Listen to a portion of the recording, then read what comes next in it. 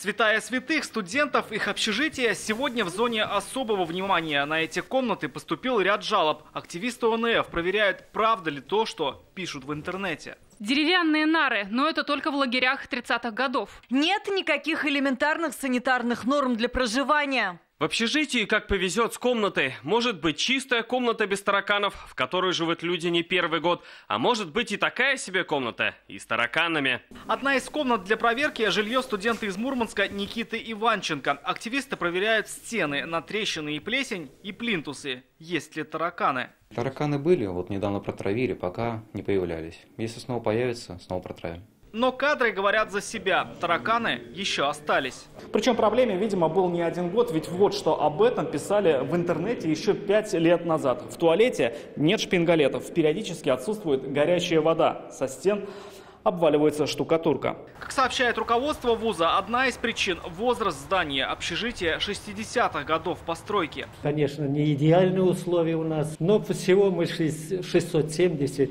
рублей в месяц, и в течение ряда лет у нас эта сумма не меняется. А студенты, в свою очередь, могут сами отремонтировать жилье, как сделала Диана Хамитова. Теперь у нее почти как дома. Весело, можно жить, так сказать.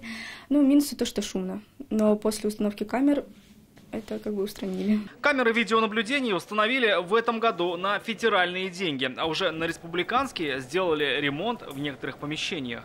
Из средств э, бюджета республики были выделены средства на ремонт кухон, вот вы видите, здесь э, сделан ремонт, и ремонт душевых комнат. На эти цели было выделено 6,8 миллионов рублей. Однако проблемы еще есть. Наша основная задача – это сформировать и собрать те рекомендации, жалобы и пожелания студентов по вопросу комфортабельности в общежитиях. Кроме того, молодежь ОНФ проводит и онлайн-опросы. Можно рассказать анонимно, что студента не устраивает в его общежитии. Ссылка размещена в социальных сетях на страницах ОНФ. Свое мнение можно высказать до конца октября. Рамиль Шайдулин, Вадим Илларионов, ТНВ, Казань. Наша рука помощи вашему бизнесу. Антикризисные предложения. Телефон 843 5 705 100.